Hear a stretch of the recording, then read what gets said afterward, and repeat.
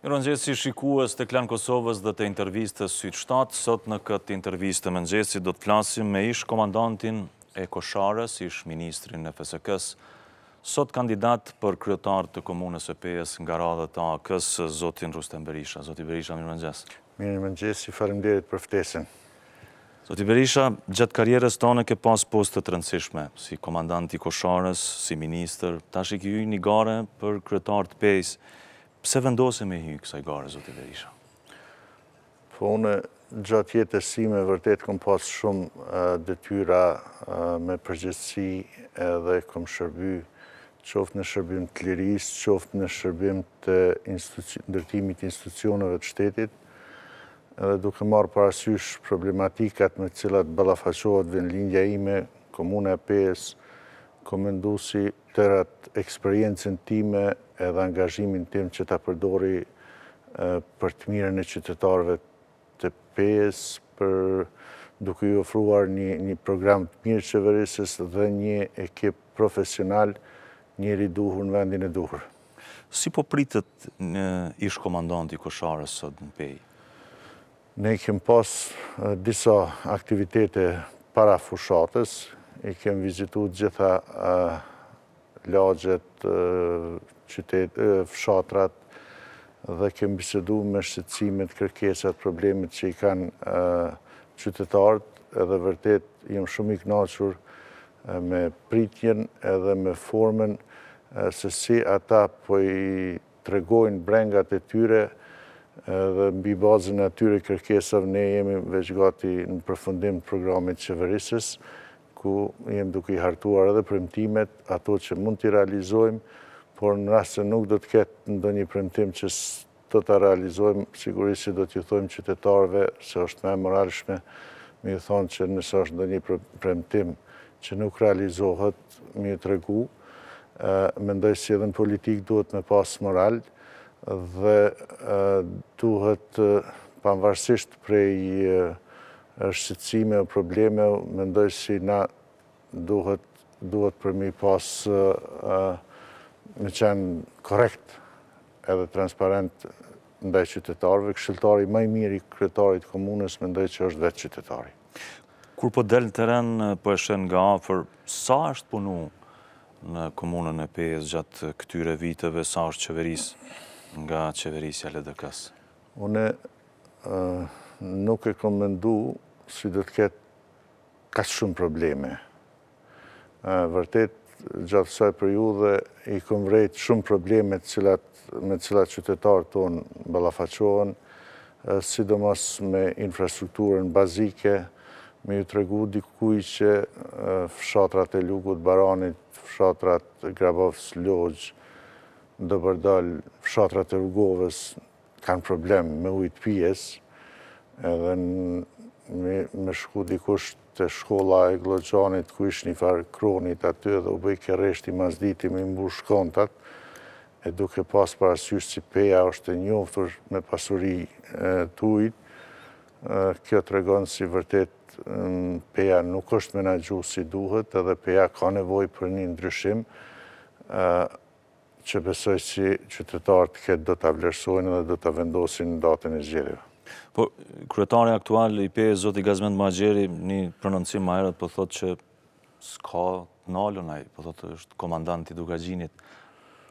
Qa ka dasht t'thotë me këtë deklaratë, a është ai komandant apo jeni ju, zoti Berisha? Është një retorikë që ai e përdor gjatë fushatës, unë nuk kam asgjë kundër zotit Muhaxheri, kam kundër formës se si e menaxhon qytetin e Pejës, edhe mundësive për ndryshim që i ka pas mundësitë, ka qenë 8 vjet në komunë, si kryetar i komunës, dhe mendoj si krejt çka ka dasht me i dhonë, ai ka pas mundësi me i tregu veten mrenda këtij afatit tetëvjeçar në Amerikë si t'i kryn dy mandate nuk ki drejt as me konkuru për mandatin e tretë por këtu te ne është ende pa definume dhe mendoj si Peja ka nevojë për ndryshim ka shumë probleme në gjitha sferat me cilat ballafaqohet Edhe ne në kuadër të kësaj kemë arritë që t'i t'i përcaktojmë edhe disa prioritete që mendojmë që janë shumë të rëndësishme për për qytetin e Pejës. Para se dalim te prioritetet, ndalem pak edhe te dek edhe pak te deklarata e Muhaxherit. Çka ka qenë mesazhi i tijna? Ku ia ka adresu këtë mesazh për komandantët? Po, unë zakonisht nuk i komentoj deklaratat e tjerëve, po vërtet zoti Muhaxheri ish dasht që t'jep sqarimet para qytetarëve, cilat premtime i ka jep në kohën e fushatës edhe sa prej tyre janë realizu edhe Pse të tjerat që o dashtë të realizohet e që ai i ka dhënë premtimet nuk janë realizu. Këto deklaratat janë ma tepër, si me thënë, në kohën e fushatës, ndoshta edhe me tërhek vëmendjen prej disa punëve që o dashtë mu kry e s'janë kry edhe tash me drejtu kursin e diskutimit në një fushë tjetër. Po thu që zoti Muhaxheri është i përfshim në ndonjë skandal? I ka shpërthy ndonjë skandal mbrana menaxhimit t'tina? Ish dashtë m'u marr ma shumë me këto punë? Po, kjo është veç publike se në kohën e fundit atij ju kanë arrestu katër drejtorë dhe disa zyrtarë të komunës duke përfshirë edhe shefin e kabinetit, edhe zoti Muhaxheri ka përgjegjësi për ata njerëz, sepse mbikëqyrja, kontrolli, llogaridhënia duhet të jetë në drejtim të kryetarit të komunës, edhe nëse ka pa që diçka nuk po respektohet ligji ose nuk po nuk po zbatohet ashtu si është planifiku, atëherë ky sigurisht ka pas hapësirë dhe mundësi dhe kompetenca me parandalu një diçka të tillë.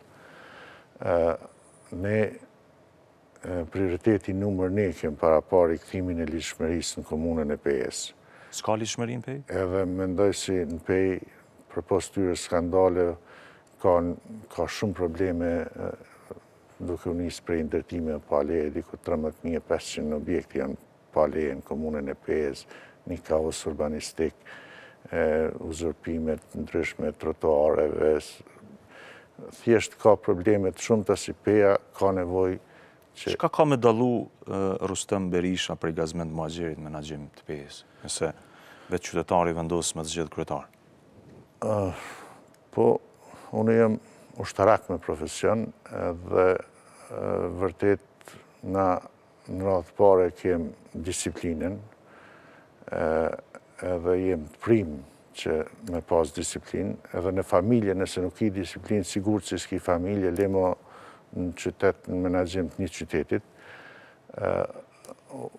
Unë jam bazuar në detyrat që i kom kry ma heret, e kom dëshmu veten se vërtet Detyra shumë të mëdha, me përgjegjësi të larta, i kam kry pa asnjë skandal, edhe që i kam menaxhu në mënyrën që edhe sot diskutohet tuj marrë prej udhëheqjes, drejtimit të betejës së Kosharës, pastaj kam qenë ministër i fundit i FSK-së dhe ministër i parë i mbrojtjes kur u bë edhe ushtria, edhe nuk ka pas skandale që ishin përfol sigurt me pa pas edhe sot domethënë vërtet përkushtimi përgjegjësia edhe llogaridhënia transparenca do të jenë prezent edhe në të ardhmen ndaj qytetarëve dhe ne do t'i japim llogari qytetarëve të komunës së Pejës. A ke me qenë kryetar që një farë forme Përpara është përfol që kryetar të AAK-së i vendos Deçani.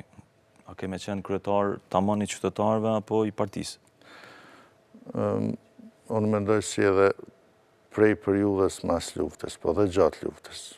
Edhe këtë periudhën e pas luftës, unë e kam dëshmu se Jam vetvetja edhe llogaria ose llogaridhënia ime do të jetë në drejtim qytetarëve të Kosovës, jo në dikujt tjetër, por kjo është një lloj propagande që tani po drejtohet në drejtim timin me qëllim me zbe edhe pritjen e mirë të qytetarëve dhe përkrahjen mbështetjen që e vërtet për çdo ditë edhe trendi i kësaj mbështetje është në rritje sipër.